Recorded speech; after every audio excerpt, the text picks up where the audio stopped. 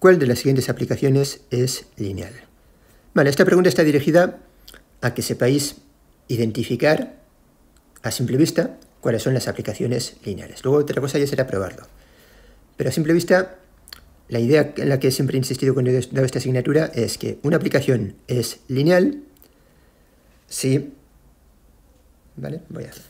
¿Vale? Por ejemplo, una aplicación de R2 en R3. Está definida si decimos cuánto es f de un par x. Será algo de R3, tendrá tres componentes. Pues las aplicaciones lineales de R2 en R3, por ejemplo, por, por hablar de un caso concreto, son las que en cada una de las tres componentes de la imagen lo que aparece es como el lado de la izquierda de un sistema de ecuaciones, es decir, algo por x más algo por y. ¿Vale? O sea que esto que me estoy inventando ahora, mismo es un ejemplo de una aplicación lineal. Si en cambio pusiese 3x más 5y más 2 y lo demás lo mismo, esta ya no sería lineal por este más 2. O si tuviese un coseno de x, lo mismo. Una curva va a encontrar el, de que algo sea lineal.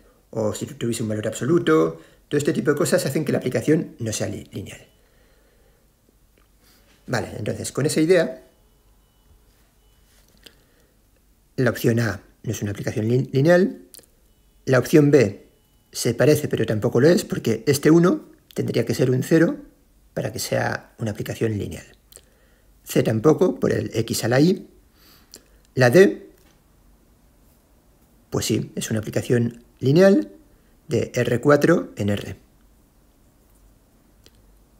Y la E tampoco por el menos 1. ¿Vale? O sea que la correcta es la D. pregunta 10. f de v en v' lineal.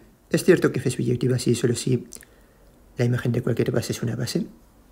Sí, y vuelve a ser un resultado de teoría.